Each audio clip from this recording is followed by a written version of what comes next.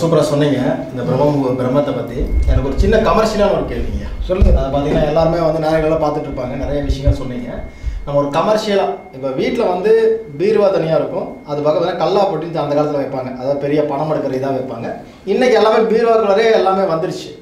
நான் என்னுடைய இது என்னென்னா நம்மளுடைய நகைகள் வைக்கக்கூடிய பெட்டியாகட்டும் அல்லது வந்து பீர்வாகட்டும் எந்த இடத்துல வைக்கணும்? எந்த இடத்துல வச்சா அவங்களோட செல்வம் வளரும்? மாற்றி வச்சா எங்கே செல்வம் அழியும்? அது கொஞ்சம் சொல்லிட்டீங்கன்னா கொஞ்சம் பெட்டராக இருக்குங்க. அன்பு தம்பிக்கு வாழ்த்துக்கள். அருமையான கேள்வி ஏற்றிருக்காரு மாணவர்களுக்காக. பீரோ துணிமணி வைக்கிறது பணப்பெட்டி தனியாக இருக்கிறது. சில இடங்களில் பீரோவுக்குள்ளேயே பணப்பெட்டியும் வைக்கலாம் வைக்கிறாங்க அதையும் தம்பி சொல்லியிருக்காரு. முதல்ல பீரோ அதாவது பணம் வைக்காத பீரோல் அதாவது துணிமணி வைக்கிற பீரோல் இந்த ஒன்பது பாவத்தில் எங்கே வேணாலும் வச்சுக்கலாம் நீங்கள் மீண்டும் சொல்கிறேன் பீரோவில் எந்த பாகம் வேணாலும் வச்சுக்கலாம். ரெண்டாவது எந்த திசையை பார்த்து வச்சுக்கலாம். கிழக்கு தெற்கு மேற்கு வடக்கு எந்த திசையை பார்த்து வச்சுக்கலாம். ஆனால் அடுத்து கேட்குறது பணப்பெட்டி அல்லது பண பீரோல் அந்த பண பீரோல்னால் நகை வைக்கிறது அவரே சொல்லிட்டார்.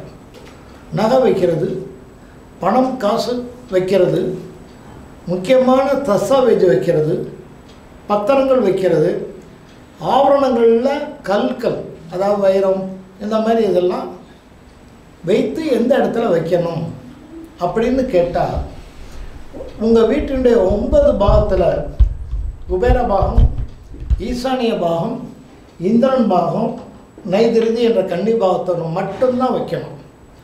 மறுபடியும் சொல்கிறேன் இதில் ஒன்பது பாகம் இருக்குது குபேரன் ஈசானம் இந்திரன் நைதிருதி கன்னி. அதாவது நைதிருதிங்கிற கன்னி.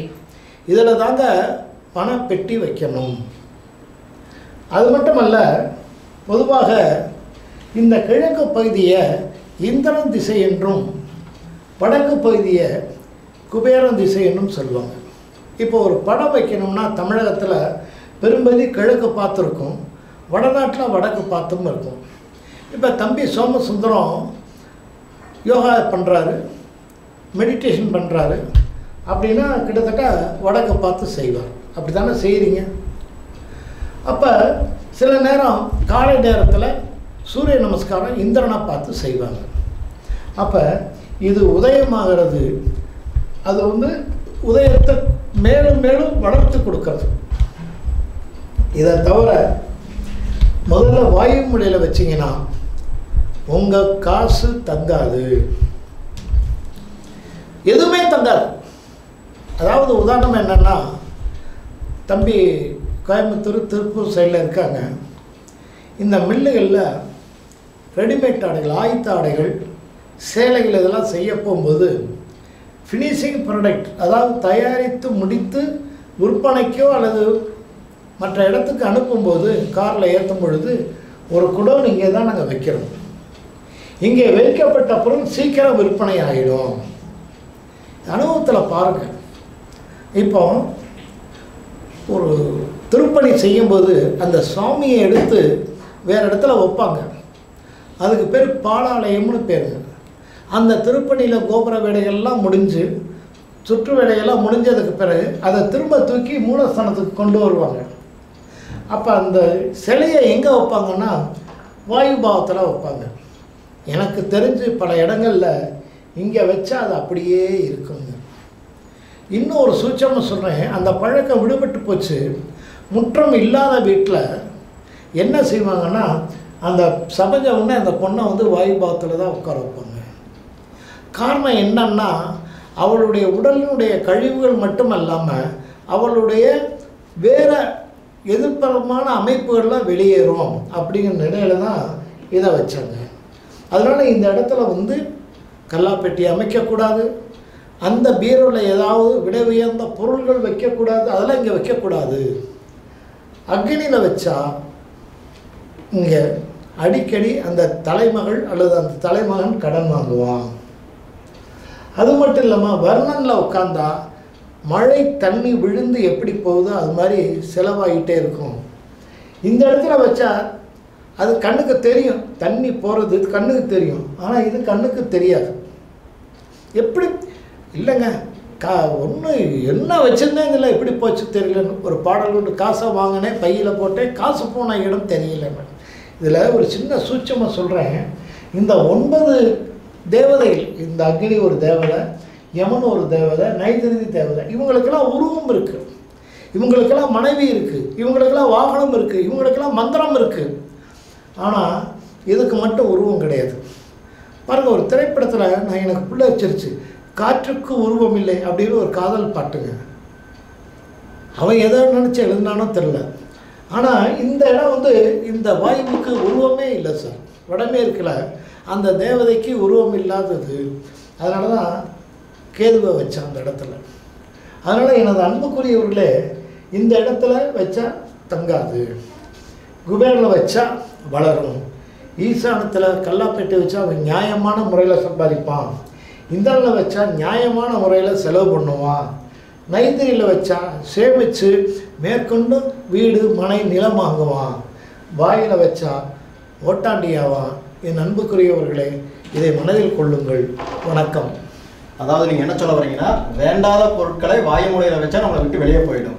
வேண்டிய பொருட்களை மேக்ஸிமம் அங்கே வைக்கக்கூடாது. கரெக்ட்டுங்களா ஸோ. செல்வ செழிப்புகளை அங்கே வைக்கக்கூடாது. வைக்கக்கூடாது. அதே போல நம்ம இதை இண்டஸ்ட்ரியல் வாஸ்டா பார்த்து பார்த்து பார்த்தோம்னா நம்ம வந்து பண்ண வேண்டிய விஷயம் வந்து விற் விற்பனையாக வேண்டிய பொருட்களை இங்கே வைக்கணும். வைக்கணும். எது ஒரு காலம் கடந்து நிற்கிதோ அதெல்லாம் இங்கே வச்சீங்கன்னா. ஈஸியாக போயிடும் சரிங்களா? அது மட்டும் இல்லை என் அன்பு தம்பி. இந்த இடம் வந்து நீங்கள் வாங்க இது உச்சிக்குழிங்க அப்போ இந்த திரும்புங்க நேயர்களே இவர் யோகா செய்கிறாரு அப்போ மூச்சு குழலை இங்கேருந்து எடுக்கணும். அதான் மூலாதாரத்து மூண்டலுக்கணலை காலால் எழுப்பி கருத்தறிவித்தார் அப்போ மூலாதாரம் சுவாதிஷ்டானம் மணிப்புரம் அனாத்தை விசுத்தி இது வந்து உச்சிக்குழிங்க இதில் இந்த உச்சிக்குழியை திறக்கிறது தான் நம்ம முன்னோர்கள் செஞ்ச வேலை. அப்போ சித்தம்பரம் சென்று சிதம்பர ரகசியம் இதுக்குள்ளே இருக்குது இந்த உச்சிக்குழி திறந்துச்சுன்னா இந்த உச்சிக்குழியிலேருந்து பார்த்தீங்கன்னா ஒரு ஒரு திரவ வடியும் அது பால் அது உள்ள இவர் எல்லாருக்கும் இருக்கும். எனக்கு இருக்கும் இவருக்கு இருக்கும் அந்த அன் நாக்கு வடியும் அப்போ அவங்களுக்கு மரணம் கிடையாது. மரணம் இல்லாத பெருவாழ்வு வாழும். அப்போ இந்த உச்சிக்குழி என்பது எவ்வளோ முக்கியம்? அதனால தாங்க இன்றைக்கி நம்ம பாட்டிமார்க உச்சி டே ஏன்டா த த- தண்ணி எண்ணெயே வைக்க மாட்டேங்கிற கொஞ்சமாவது வைடான்னு. நல்லதுக்கும் தீயதுக்கும் பதினாறாம் நாளுக்கும் முதல்ல எங்கேயாவது வைப்பாங்க. முதல் எடுத்தவொடனே இங்கே தான் வைப்பாங்க.